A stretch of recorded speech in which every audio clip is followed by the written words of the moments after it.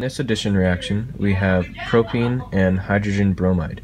So when these two chemicals react, they break apart the double bond and attach on to the propene, making it either 2-bromopropane or bromopropane.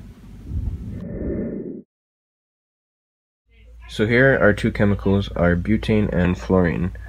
So when these two chemicals react, they go through a substitution reaction where one of the fluorines from the fluorine goes and switches out with the hydrogen and that can switch in right there leaving us with fluorobutane, fluoral butane or it can switch in right here at the second carbon atom leaving us with 2-fluorobutane as well as hydrogen fluoride.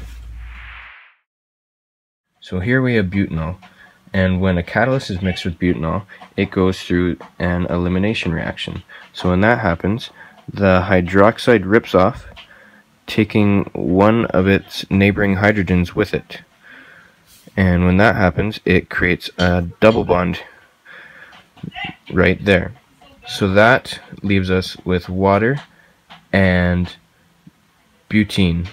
Or if it took the other neighboring hydrogen, then that would leave us with water still, but it would also it would make the double bond at in the middle there, leaving us with butene.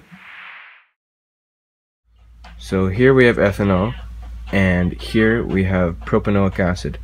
So when these two react, they go th through an esterification reaction. And when that happens, this hydroxide breaks off and this hydrogen breaks off making water and then this bond connects them and that gives us ethyl propanoate. The name's Bond, covalent bond.